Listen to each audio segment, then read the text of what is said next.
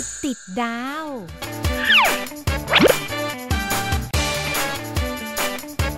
ช่วงไอเดียติดดาววันนี้โบมาอยู่ที่ Dollar Studio ค่ะ ที่นี่เป็นธุรกิจเล็ก ๆ ที่เป็นการรวมตัวของกลุ่มเพื่อน 3 คนนะคะ เขาอาศัยประสบการณ์ความคิดสร้างสารรค์จากสิ่งที่ได้เรียนรู้มา มาทำเป็นธุรกิจที่เขาเรียกว่าตุ๊กตาหน้าเหมือนค่ะ แล้วเราก็มารู้จักกับเจ้าของไอเดีย Dollar ตุ๊กตาหน้าเหมือนกันนะคะ คุณตูนแล้วก็คุณยิ่งค่ะ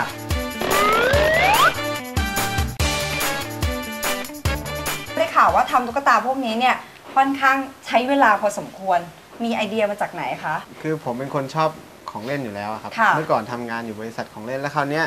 มีอยู่วันหนึ่งไปคุยกับเพื่อนที่เขาก็ชอบของเล่นเหมือนกัน ค่ะ ก็เลยมีความคิดขึ้นมาว่า ถ้าสมมุติว่ามันมีผลิตภัณฑ์ชิ้นหนึ่งที่เราสามารถเลือกชิ้นส่วนของตุ๊กตา อืม มาประกอบกันเป็นตัวเราเองค่ะหรือเป็นใครก็ได้หรือเป็นอะไรก็ได้อย่างเงี้ย อืม มันจะเป็นยังไง อันนั้นก็เป็นเป็นจุดเริ่มต้นของไอเดียครับ คุณตูนหรือคุณยิ่งใครเป็นคนทำหน้าที่แบบไหนยังไงคะ คือตอนแรกเนี่ยลูกค้าจะส่งส่งรูปมาทางอีเมล แล้วผมก็ออกแบบกลับไปว่าเออ character ประมาณเนี้ยโอเคไหมเสื้อผ้าหน้าตาแบบนี้โอเคไหมเหมือนเคหรือยังใช่ ถ้าสมมุติว่ายังไม่โอเคก็จะปรับแบบตามที่เขาต้องการ อืมพอแบบโอเคปุ๊บผมก็จะส่งต่อให้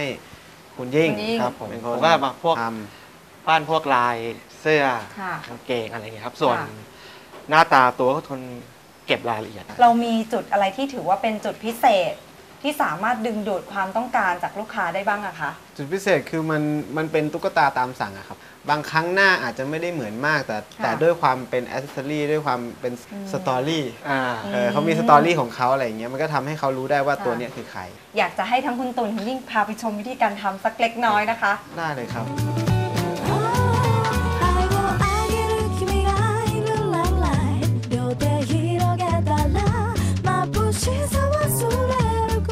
ชมถ้าต้องการตุ๊กตาหน้าเหมือนนะคะ ก่อนอื่นก็ต้องมาถึงขั้นตอนนี้ก่อนเลยใช่ไหมคะคุณตูน ใช่ครับ ก็คือการส่งรูปมาให้ก่อนนะคะ หลังจากที่คุณตูนได้รูปมาแล้วยังไงต่อคะ ก็คือเนี่ยเขาจะส่งรูปมา ค่ะผมก็จะเริ่ม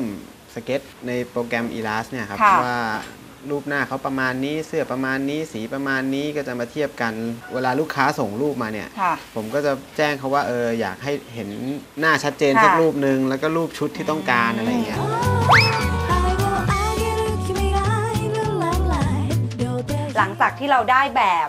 สเก็ตภาพหน้าเหมือนมาเรียบร้อยแล้ครัวบผมในส่วนตรงนี้คุณยิ่งก็จะเป็นคนควบคุมการผลิต ใช่ครับ ก่อนอื่นต้องถามก่อนว่าทำจากอะไรคะ เรซินครับเรซินเรามีเรามีตัวตัวโมตัวอะไรอย่างนี้อยู่แล้วหรือเปล่าอะคะ มีอยู่แล้วแต่ว่าเราจะมีไม่ครบก็จะดูหุ่นลูกค้าว่าอ้วนผอมนี่เห็นตัวนี้ก็คือตัวส่วนร่างกาย ใช่ครับ แต่ก็แสดงว่าแขนกับขานี่แขนกับขานี่คือแยกออกจากกันหมดแยกออกจากกันหมด ใช่ฮะเรามาทำยังไงต่อคะสมมติ เราได้ตัวนี้ขึ้นมาค่ะเป็นโครงแล้วก็จะมาดูว่าเออเนี่ยเสื้อมันเป็นฟอร์มแบบไหนอ๋อแล้วก็จะมาค่ะปั้นเป็นเป็นเป็นฟอร์มเสื้อ ใช้เป็นค่ะ เรซินเนี่ยแหละครับ เอามาพ่อกแล้วก็เอามาแต่งเสร็จปุ๊บเราก็จะมา มาพ่นสีเก็บ แต่ก่อนลงสีต้องติดจอยก่อนฮะ ติดจอยก็คือเวลา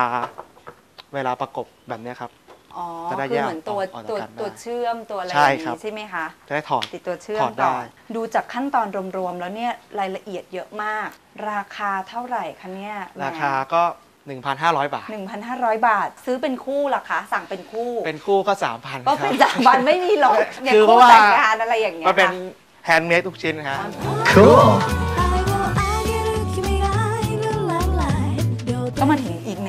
อนที่สำคัญแล้วนะคะสำหรับการลงรายละเอียดของตัวตุ๊กตาหน้าเหมือนนะคะ ใช้เวลานานไหมคะ ในการลงรายละเอียดต่างต้องใช้เวลาสักพักหนึ่งอะครับ เพราะว่าบางครั้งเราต้องรอสีแห้งค่ะเพื่อที่จะเพ้นลายทับๆเช่นอันนี้ค่ะ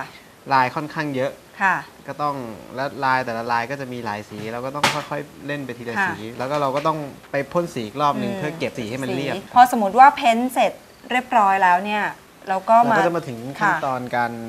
การแพ็คคืออันนี้ก่อนก่อนที่จะค่ะส่งให้ลูกค้าเนี่ยก่อนที่จะเราต้องต้องลองทดสอบประกอบก่อนใช่เกิดเอ่อข้อต่อหลุดอะไรเงี้ยเราจะได้แก้ให้เขาก่อนได้ครับอืมคือยังไงทุกตัวเนี่ยจะต้องต้องยืนได้ยืนได้ สมมติว่าคุณผู้ชมเนี่ยพอชมแล้วเกิดเกิดสนใจอะค่ะ จะสั่งหรือว่าติดต่ออะไรได้ยังไงที่ไหนคะก็ตอนนี้ติดต่อได้เลยทางทาง Facebook อะครับ เอ่อเข้าไปใน Facebook แล้วเซิร์ชคำว่า Dollar ได้เลย ดอลลาร์ D นะคะ O L L E R ค่ะ แล้วถ้าเกิดคุณผู้ชมที่สนใจสั่งเจ้าตุ๊กตาหน้าเหมือนดอลลาร์นี่นะคะ อาจจะต้องใช้เวลาวางแผนในการสั่งล่วงหน้าสักเล็กน้อยนะคะ เพราะว่าตอนนี้เนี่ย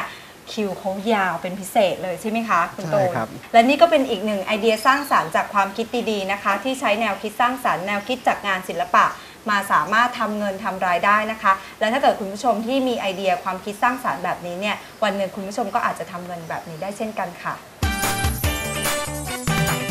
ธุรกิจติดดาว